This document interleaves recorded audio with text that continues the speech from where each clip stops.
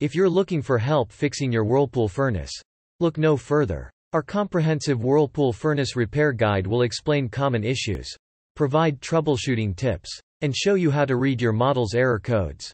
Code OP problem normal operation. Code E0. Problem lockout due to excessive retries. Code E1. Problem low stage pressure switch stuck closed at start of heating cycle. Code E2. Problem low stage pressure switch stuck open. Code E3. Problem open high limit switch. Code E4. Problem flame detected when no flame should be present. Code E5. Problem open fuse. Code E6. Problem low flame signal. Code E7. Problem igniter fault or improper grounding. Code E8. Problem high stage pressure switch stuck closed at start of heating cycle. Code E9. Problem high stage pressure switch stuck open. Code EA problem reversed 115 vac polarity. Code D0. Problem data not yet on network. Code D4. Problem invalid memory card data. Code B0. Problem blower motor not running.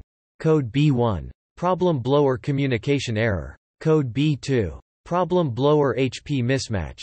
Code B3. Problem blower motor operating in power, temperature or speed limit. Code B4. Problem blower motor current trip or lost rotor. Code B5. Problem blower motor locked rotor. Code B6. Problem over. Under voltage trip or over temperature trip. Code B7. Problem incomplete parameters sent to motor.